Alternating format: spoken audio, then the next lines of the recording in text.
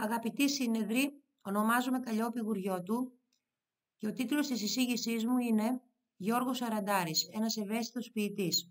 Πρόκειται για ένα διδακτικό σενάριο που απευθύνεται σε μαθητές της Δευτέρας Τάξης του Γυμνασίου. Η ποίηση του Γιώργου Σαραντάρη υπήρξε αρκετά πρωτοποριακή την εποχή του Μεσοπολέμου στους αθηναϊκούς λογοτεχνικούς κύκλους. Χρησιμοποίησε στα ποίηματά του τον ελεύθερο στίχο, ενώ στις αναζητήσεις του περιέλαβε προβληματισμούς που έλκουν την επιρροή τους από την Ιταλική ποίηση, το έργο του Ντοστογεύσκη, από τις φιλοσοφικές ιδέες του Νίτσε, αλλά και από τον υπαρξισμό. Το έργο του δεν συνάντησε ευρία αποδοχή στην εποχή του. Επηρέασε ωστόσο την ελληνική ποίηση βαθιά και ουσιαστικά. Η συμβολή του αναγνωρίστηκε από τον Οδυσσέα Ελίτη, ο οποίος επηρεάστηκε σαφώς από τις συμβολικές εικόνες που κυριαρχούν στο έργο του Σαραντάρη. Γυναίκα, θάλασσα, μοναξιά, ουρανός, πουλιά, ο νομπελίστας Ελίτης στο έργο του «Ανοιχτά χαρτιά», αναφερόμενος στον πρόωρο χαμό του, τον παρουσιάζει ως έναν εύτραυστο διανοούμενο που μόλις στεκόταν στα πόδια του, που όμως είχε προφθάσει να κάνει τις πιο πρωτότυπες και γεμάτες από αγάπη σκέψεις για την Ελλάδα και το μέλλον της. Η παρούσα διδακτική πρόταση φιλοδοξεί να γεννήσει στους μαθητές το θαυμασμό για το έργο και την προσωπικότητα του ποιητή. Βασίζεται στις αρχές του επικοδομισμού και σκοπό έχει να ενθαρρύνει τους μαθητές να συνεργαστούν στην αναζήτηση της γνώσης αξιοποιώντας ψηφιακά μέσα. Μια ανοιχτή και ευέλικτη διαδικασία, η οποία υιοθετεί στοιχεία της μεθόδου project, προτείνεται ως μέθοδος εργασίας για την υλοποίηση του παρόντος σεναρίου. Σε όλες τις φάσεις υλοποίησης του σεναρίου κρίνεται απαραίτητη η εργασία των μαθητών σε ομάδες. Σε κάθε ομάδα, η οργάνωση και η κατανομή των ρόλων καθορίζεται από τα ίδια τα μέλη της. Τα μέλη αυτά συνδιαμορφώνουν τους στόχους και την πορεία δράσης τους, ενώ ο εκπαιδευτικός φροντίζει να παρεμβαίνει μόνο όταν είναι αναγκαίο για την υποστήριξη των προσπαθειών τους. Το διδακτικό πλαίσιο του προτινόμενου σχεδιασμού είναι μαθητοκεντρικό και ακολουθεί στρατηγική σύμφωνη με την αρχή της κονστρουκτιβιστικής θεωρίας. Η μάθηση δηλαδή επιτυγχάνεται μέσω της ενεργούς συμμετοχής των μαθητών στη μαθησιακή διαδικασία, είναι συνεπώς βιωματική. Το μαθησιακό περιβάλλον, κατά τον Πιαζέ, Απαιτεί την εμπλοκή του παιδιού σε αυθεντικά έργα και σε πλαίσια που έχουν νόημα για το ίδιο. Ακολουθείται παράλληλα η αρχή της ζώνης επικείμενης ανάπτυξης και της κλιμακωτής αναδόμησης του Βιγκότσκι, που αναγνωρίζει τη σημασία της αλληλεπίδρασης μεταξύ φυσικής ανάπτυξης γνωστικών λειτουργιών και εξωτερικών κοινωνικοπολιτισμικών παραγόντων.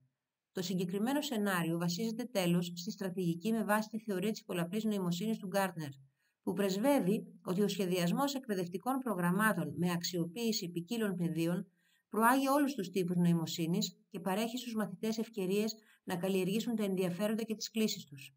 Σύμφωνα με τις θεωρίες αυτές, το διδακτικό περιβάλλον με ομαδοσυνεργατικές δραστηριότητες, ενεργητική συμμετοχή, άμεση επαφή με τα αντικείμενα ή καταστάσεις, καθοδηγούμενη ανακάλυψη, διαθεματικές προσεγγίσεις και χρήση της τεχνολογίας είναι το σημείο αιχμής για τη βιωματική μάθηση και τον απεγκλωβισμό από τη δασκαλοκεντρική διδασκαλία.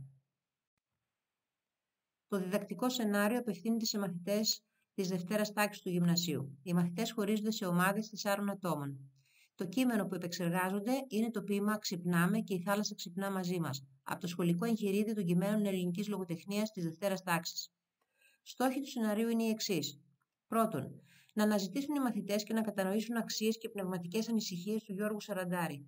Δεύτερον, να αναζητήσουν βιώματα, αντιλήψεις και πρόσωπα που στιγμάτισαν το έργο του και αποτέλεσαν πηγή έμπνευσης του ποιητή. Τρίτον, να ανακαλύψουν τα γνωρίσματα της ποιησή του. Τέταρτον, να αντιληφθούν την μοναδικότητα και την ευαισθησία του ποιητή. Πέμπτον, να γίνουν και οι ίδιοι δημιουργοί. Και έκτο, να εξοικειωθούν με τα ψηφιακά μέσα και την αναζήτηση στο διαδίκτυο. Η διάρκεια του σεναρίου είναι 7 με 8 ώρες και ο τόπος υλοποίησής του το εργαστήριο πληροφορικής. Ακολουθούν τα φύλλα εργασιών για τους μαθητές, των οποίων οι εργασίες είναι διατυπωμένες σε δεύτερο πληθυντικό πρόσωπο, καθώς αυτές απευθύνονται στους μαθητές.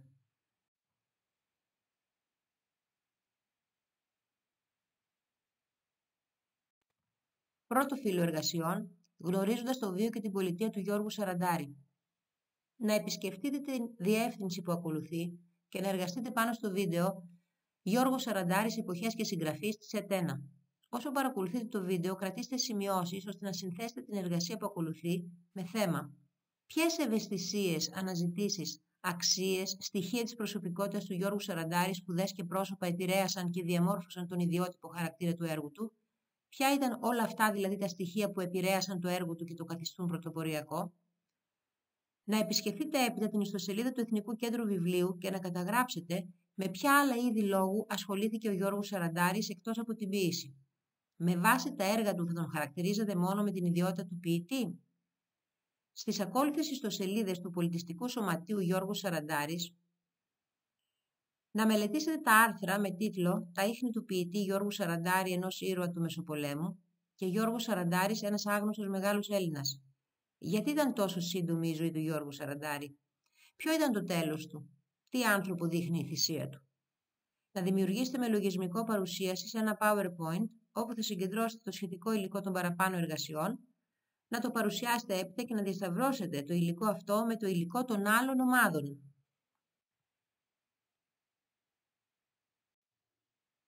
Δεύτερο φύλλο εργασιών, η ερμηνεία του πείματος. Να επισκεφτείτε τη διεύθυνση των σχολικών διαδραστικών βιβλίων, να απαγγείλετε δύο-τρεις φορές το πείμα και έπειτα να προσπαθήσετε να απαντήσετε στις ακόλουθες νοηματικές και ερμηνευτικές ερωτήσεις. Ποιο είναι το θέμα του πείματος; Ποιο είναι το ποιητικό υποκείμενο και ποιο το γραμματικό πρόσωπο των ρημάτων και των αντωνυμιών; Να ερμηνεύσετε τους στίχους με όραση καινούργια προχωρούμε, η μέρα έχει με άνδρους, στην καρδιά μας αδειάσαμε προσωρινά την πόλη, που ο ήλιος δεν μπόρεσε να τη μετρήσει, που ο ήλιος δεν μπόρεσε να τη χωρέσει. Πώς επιδράει η φύση στη διάθεση των ανθρώπων; Να τεκμηριώσετε την απάντησή σας αναφέροντας στίχους του πείματος. Παρά την αισιόδοξη διάθεση του ποιητή, κάποιος στίχος έχει μια νότα απεσιοδοξίας. Ποιος είναι ο στίχος αυτός και γιατί άραγε κρύβει το συνέστημα της μελαγχολίας; Τέλος, σε διαφάνειες παρουσίασης να συγκεντρώσετε τις απαντήσεις σας, να τις παρουσιάσετε και να τις διασταυρώσετε με τις απαντήσεις των άλλων ομάδων. Τρίτο φύλλο εργασιών, η μορφολογία του πείματος. Η ποίηση του Σαραντάρη είναι συμβολιστική. Τι είναι όμως ο συμβολισμός, ποια είναι τα βασικά μέσα έκφρασης αυτού του ρεύματος στην τέχνη, αναζητήστε απαντήσεις στην ακόλουθη διεύθυνση. Τι παρατηρείτε σχετικά με τη στιχουργική του πείματος; Πόσες στροφές και πόσους στίχους έχει; Η στίχη είναι ισοσύλλαβη ή ανισοσύλλαβη; Υπάρχει μέτρο και ομοιοκαταληξία ή μήπως ο στίχος είναι ελεύθερος; Παρατηρείτε πως στο πείμα δεν υπάρχουν σημεία στίξης και κάθε στίχος αρχίζει με κεφαλαίο γράμμα. Γιατί άραγε ο ποιητής χρησιμοποιεί αυτή την τεχνική της αστιξίας, τι επιτυγχάνει με αυτή; Τέλος, σε διαφάνειες παρουσίασης, να συγκεντρώσετε τις απαντήσεις στα παραπάνω ερωτήματα. Να τις παρουσιάσετε και να διασταυρώσετε το υλικό σας με το υλικό των άλλων ομάδων. Τέταρτο φύλλο εργασιών με τίτλο «Η θάλασσα στο έργο του Γιώργου Σαραντάρη». Να επισκεφτείτε τη συγκεκριμένη ιστοσελίδα και να μελετήσετε τα τρία ποίηματα του Σαραντάρη που φέρουν τους παρακάτω τίτλους. Άλλοτε η θάλασσα, από το τρία ποίηματα της θάλασσας και έπος.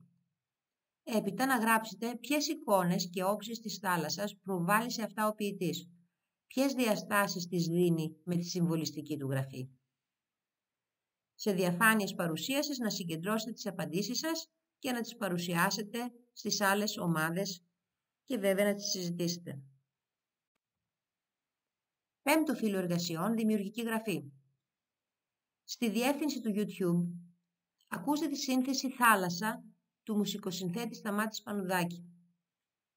Έπειτα να γράψετε ένα δικό σας σύντομο ποίημα για τη θάλασσα υιοθετώντας τους τρόπους της ποιητικής γραφής του Γιώργου Σαραντάρη. Με τις ποιητικές συνθέσεις σας να δημιουργήσετε ένα ηλεκτρονικό βιβλίο, μια ποιητική συλλογή, που θα αναρτήσετε στο e-class και την ιστοσελίδα του σχολείου σας. Έκτο φύλλο εργασιών, παράλληλα κείμενα. Να εντοπίσετε ομοιότητες και διαφορές των ακόλουθων ποιημάτων με το ποίημα του Σαραντάρη ως προς το περιεχόμενο, τη γλώσσα και τη στιχουργική. Να ανταλλάξετε τις απόψεις με τις άλλες ομάδες. Το πρώτο παράλληλο κείμενο είναι του Κωνσταντίνου Καβάφη «Θάλασσα του πρωιού». Εδώ ας σταθώ κι ας δω κι εγώ τη φύση λίγο. Θάλασσας του πρωιού και ανέφελου ουρανού, λαμπρά μαβιά και κίτρινη όχθη όλα ωραία και μεγάλα φωτισμένα. Εδώ ας σταθώ και ας γελαστώ πως βλέπω αυτά. Τα είδα αλήθεια μια στιγμή σαν πρωτοστάθηκα. Κι όχι και εδώ τις φαντασίες μου, τις αναμνήσεις μου, τα ενδάλματα της Ιδονής. Δεύτερο παράλληλο κείμενο είναι Ένα απόσπασμα από το φως που καίει του Κώστα Βάρναλη. Να σε αγναντεύω θάλασσα να μη χορταίνω, από το βουνό ψηλά στρωτή και καταγάλανη και μέσα να πλουταίνω, από τα μαλάματά σου τα πολλά. Να είναι χινοποριάτικο από μεσήμερώντας, με τα άξαφνη νεροποντή χυμάει μέσα τα σύννεφα θαγκωτικά γελώντας, ήλιος χωρίς μαντί. Να ταξιδεύουν στον αγέρα τα νησάκια, οι κάβοι, τα ακρογιάλια σαν μεταξένια αχινή και με τους γλάρους συνοδιά κάποτε ένα καράβι να ανοίγουν να το παίρνουν οι ουρανοί.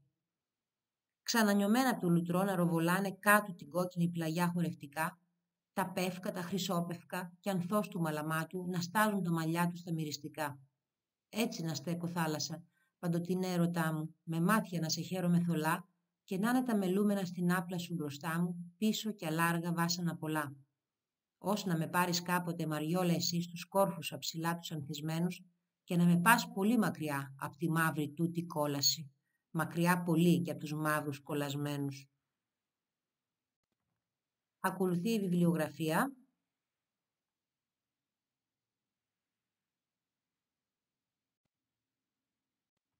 Και οι ηλεκτρονικές πηγές.